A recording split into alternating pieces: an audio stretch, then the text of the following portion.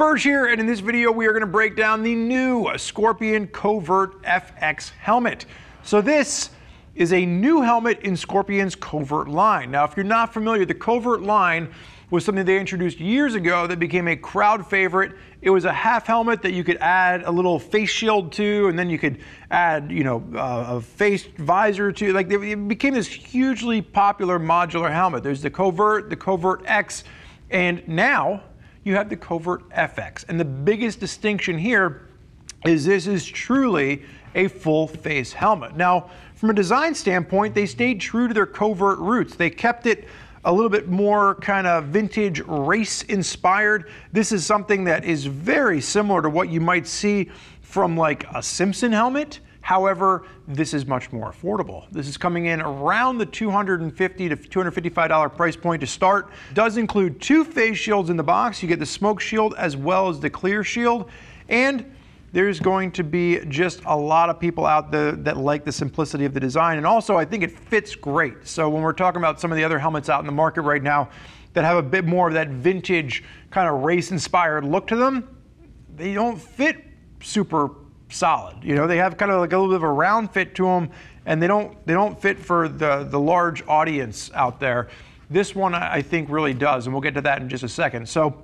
From a where does this fit in the line standpoint, again, if you're looking at this and you're thinking, well, maybe I don't want a full face helmet, I want something a little bit wacky and different, check out the Covert and the Covert X.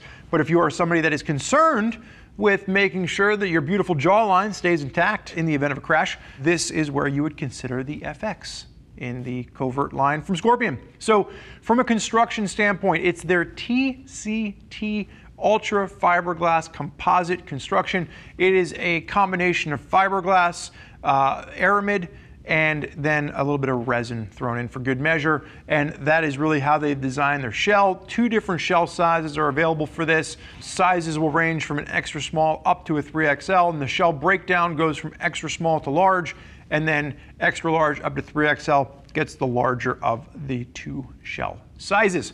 DOT and ECE 2206 safety rated, two intake vents, two exhaust vents, and really when we're talking about the intake vents, you have the, uh, the vent at the chin, and then you got a vent up top. We're looking at the exhaust vents out back. These are gonna be passive vents at the, at the back side of this. And then from a weight standpoint, three pounds, six ounces in a medium. We already kind of hinted at the, uh, the internal head shape on this. If you're not familiar with how to size a helmet, check out our how to size and buy a motorcycle helmet guide where we walk you through the fact that you really need to pay attention not just to size, but how an internal shape of a helmet is designed. And this is gonna be an intermediate oval fit. This is a little bit longer front to back, a little bit narrower on the side of the head, and this is gonna work for the majority of riders in the American market. So just keep that in mind. Again, I think it's a combination of the style for this with that fit that's really gonna help to set it apart. So let's start at the front and work our way back. There's a, I just have to make sure I can grab it here. There's a, a, switch on the inside to open or close the vents. So the vent up front is active. My only real nitpick with this helmet is just the, the fit and finish a little bit. If you're looking at the, uh, the actual front vents, this is where you can see it the most.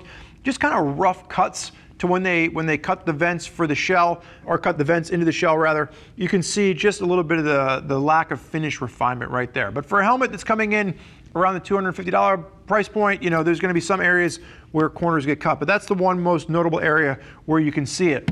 When you're looking at the facial on this, the only note that I have here is that it would have been nice to have some kind of a detents. There's, there's a lot of like little kind of ribs and when you're opening and closing this, you can kind of feel it but there's not really anything that's like a strong detents that's going to hold the, the face shield in place for you know speeds over 20, 25 miles an hour. So maybe just you know a little bit of a, of a lock detents in a city position right there would have been nice. Um, but as it stands right now, you got a, a closed position and an open position. You can kind of leave it cracked just a hair, but maybe just something something a little bit more city friendly would have been would have been positive there. As we go in the full open position, what I will say is with the face shield closed, it is one of the quieter helmets that we have ridden in, even without earplugs. They did a really good job of maintaining, you know, a quiet interior design to this helmet. Now, quiet is subjective. I'm not throwing decibel ratings at this, but just, you know, uh, seat of the pants kind of a testing. If you're out on the road, it is quieter than I was expecting it to be. Now, from a face shield on off, it's, it's super easy to use. You just kind of grab the face shield and pull pops off, and then you can just go ahead and pop it back on. So it's very easy to swap the shields on this. Nothing complex in that design. Switch on the top, what I would say is, you know, kind of confusing to know which one is open and which one is closed if you're not feeling a tremendous amount of air right away. Um, but it, it is relatively easy to use with a gloved hand. You can reach up and you can kind of just flip it to the open or the closed position. And as we come around the back, just getting a profile there, you can kind of see the streamlined design to this. So even though it's a bit more retro in the front, does have a very nice streamlined look to it when you're looking at it from the profile. And you have that little bit of a duckbill spoiler out back with your passive vents.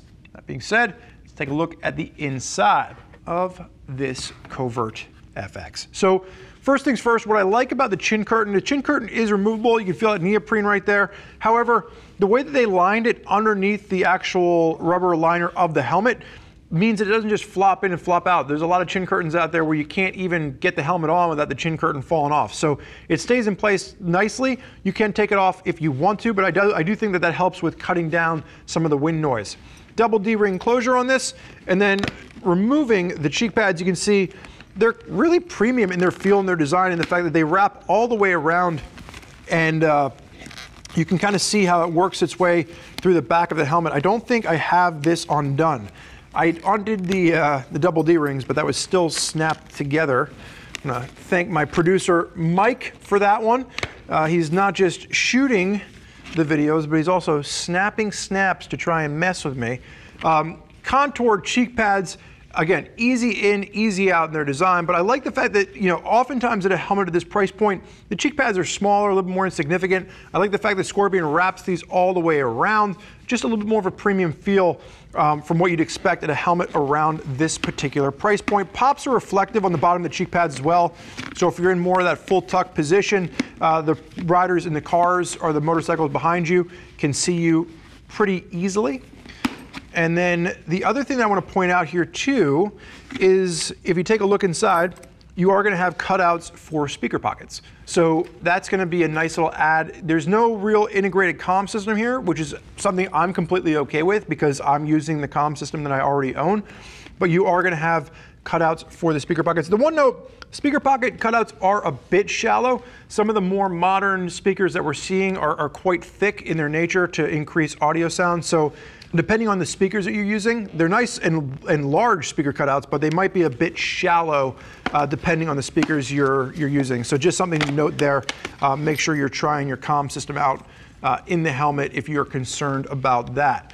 Simple design of the liner. The one thing I wanted to note is I don't think I have ever seen uh, cutouts this deep for channeling for venting. So while you only have that, that one exhaust vent at the top, or the one intake vent at the top of the helmet, you got these really deep channeled cutouts that help to really just promote airflow from the front to the back. So even though it might not look like a, a, massive amount of venting at the top, once that air pushes in there, it channels really nicely throughout the helmet, down through the exhaust ports, and then down out through the back of the head as well. So really deep channeled cutouts with this, probably more so than I have seen. It was actually something of note. We were pre-proing the helmet and I was reaching in there. I was just like, these cutouts are so insanely deep.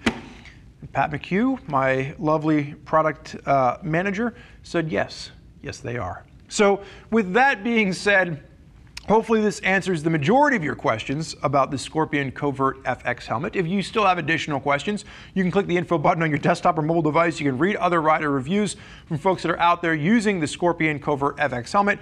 Or if you want to talk to one of, our customer service reps, you can give them a call, you can shoot them an email, and they can walk you through all the different helmets available to make sure that you find the right helmet to match with your riding style as well as your price point. I want to thank you for joining us for this look at the Scorpion Covert FX helmet.